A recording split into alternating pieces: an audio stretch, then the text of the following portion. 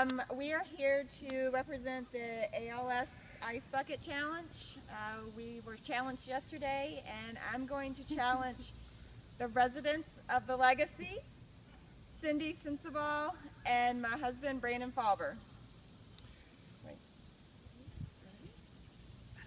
Oh, sure. You can do it.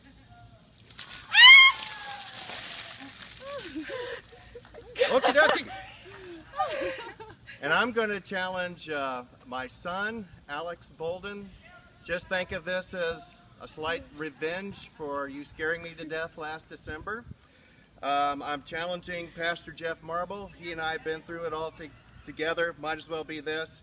And I'm also challenging uh, Pastor Jonathan Boynton and Teresa Lehman uh, in behalf of youth ministry at Grace Lutheran Church. All right.